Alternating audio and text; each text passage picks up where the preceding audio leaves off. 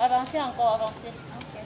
Les personnes en situation de handicap veulent une société avec des valeurs plus inclusives, où l'éducation, l'insertion professionnelle et les dispositions légales relatives à leurs droits sont respectées. Lors d'une conférence de presse tenue ce jour pour annoncer la journée qui leur est consacrée, les handicapés de Douala ont saisi l'opportunité pour interpeller les décideurs pour le respect de leurs droits. Nous voulons souhaiter une insertion euh, scolaire pour euh, tous les types d'handicap, l'accès à la santé, l'accessibilité au niveau de tous les établissements euh, publics ou privés et que désormais un accueil digne de ce nom soit accordé aux personnes vivant avec un handicap.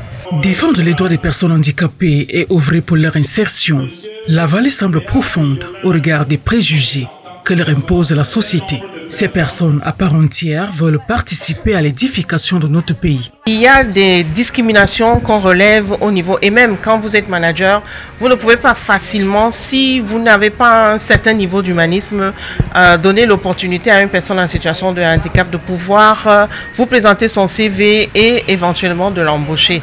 Et donc nous, il est question ici d'amener les directeurs de société à comprendre que certes, nous faisons les choses de manière différente, mais nous pouvons avoir un meilleur rendement quatre jours d'activité pour mener des réflexions pour la restructuration de la société. Nous voulons mettre sur pied un document qui va nous permettre d'être une référence pour la réinsertion sociale et socio-professionnelle des personnes en situation de handicap. Nous allons descendre dans les rues pour dire qu'il est ici important d'accorder de l'intérêt à la personne en situation de handicap. C'est une bataille qu'on a commencée et qui est en train d'évoluer.